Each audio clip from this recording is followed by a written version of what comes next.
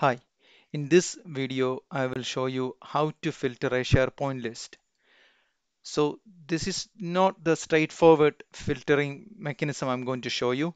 This is a little bit more advanced filtering mechanism I'll demonstrate. Okay, so this is my list. My list is called project tracking. And here I have IT lead email and title project start date. So as you can see here, IT lead email is uh, duplicated here in couple of places. So what ideally I want to do here is find the unique values of the IT email, filter against those values, then email the relevant, uh, the relevant person um, uh, with the details of title and the project start date. So there are a couple of tasks we need to do here. First, we need to find the unique values of the email from this list. Then do the filter against the records to find their own records. Okay, so let's start building the flow now. So I'm under Power Automate.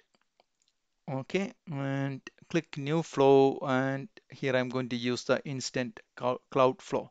So for this demonstration, I'm going to use a manual trigger.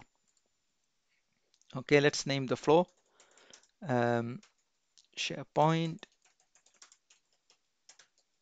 Advanced Filter Demo. Okay,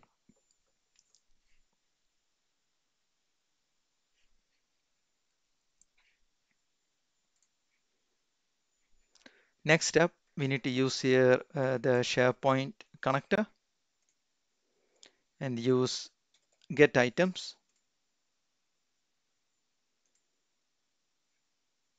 Select the SharePoint site. Okay, the list name is called project tracking. Here it is. Okay. For best practice, always put some nice comments against uh, your action names. So here get items project tracking. Here it is.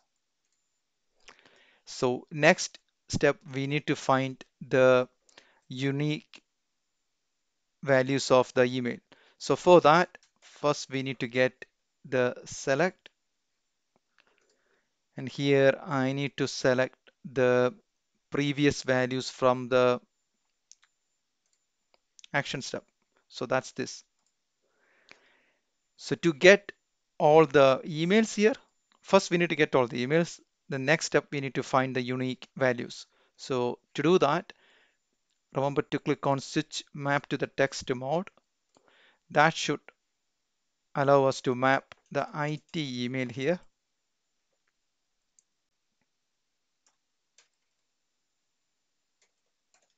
Here we go, IT lead email. So uh, this way we got all the items here. So just rename to saying um, uh, get all emails. So this this stage we got all the emails. Next stage we want to use an expression to get the unique values of the email.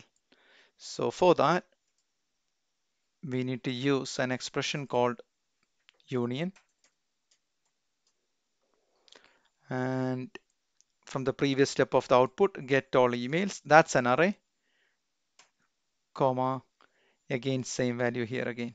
So we are using the same value first and the second array it's the same. So this should this should return the unique values of the email let's test this and find out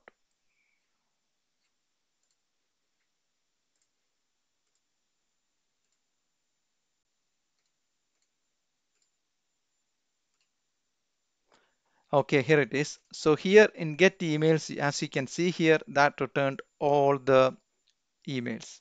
Basically, it's all the records of those um, emails. But in this statement here in the compose, we got a we got an expression which we did earlier called the union. So that allowed us to filter only the unique values. Okay, so far good.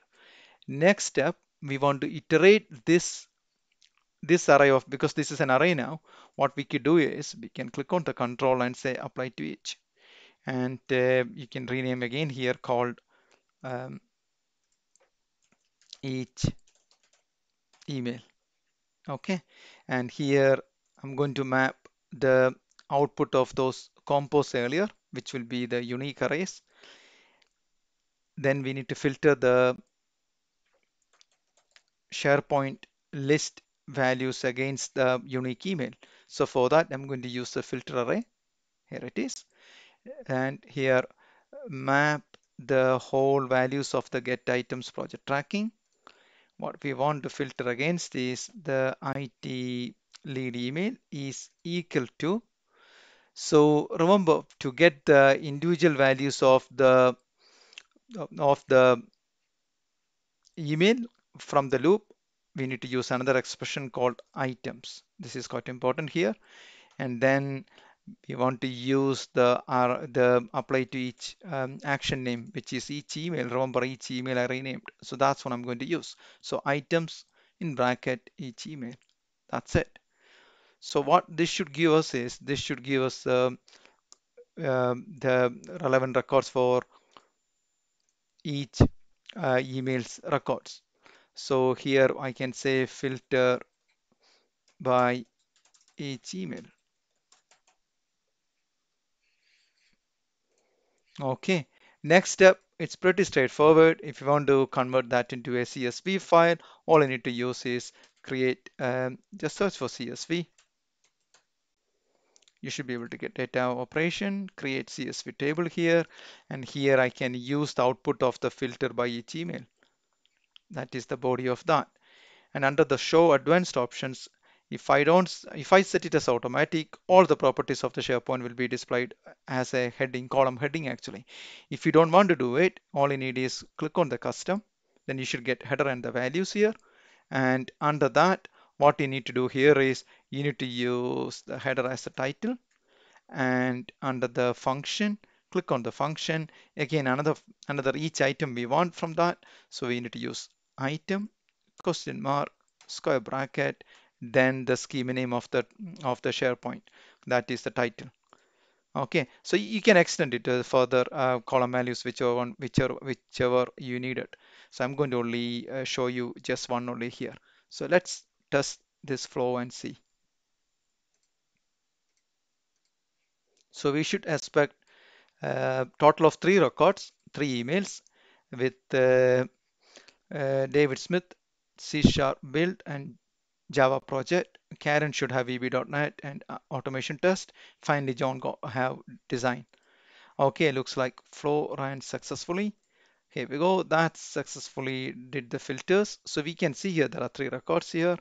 Under the create CSV table, you can see C sharp build David Smith.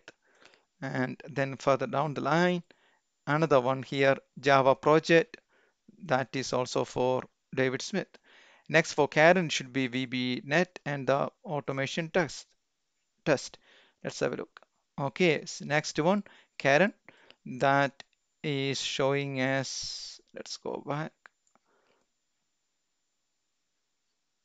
Um, here we go, the title. Oh, okay, I, I don't need to look there. I can look in the body output. So that's VB.NET and the automation test. And again, the next, here we go, it's only one design actually.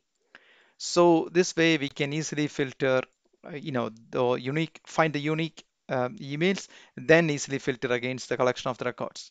So that's VB.NET build and the automation test. That's the first one. Okay, let's go back to Power Automate again. Let's have a um, overall look again. So first I filter the records. Then next I use the select, use that value from the previous step and remember to click on to convert that into text mode and map the value that should return that as an array format. Since it is an array format we can easily convert that using a union. So and but in the union you need to use the same um, um, array actually here because for union we need two arrays. But here we only got one array so we need to use the same array as the second one. That's the technique. So that that filters the unique values. Next step we are iterating that uh, values and then filtering against it. So remember to get the each value, you need to use again items of bracket each email. That's syntax we need to use again. So remember that's quite key as well to filtering against that. Then finally, we can use create CSV table, then uh, you know put a custom header or full header, whichever whichever whichever way you want. You can set those, and then use another expression called item. So you can see here I set item and question mark. This is a syntax you need with the schema name. Schema name is title. So this way we can filter the SharePoint records, finding the unique values first, then filtering against those records. Thank you very much for watching.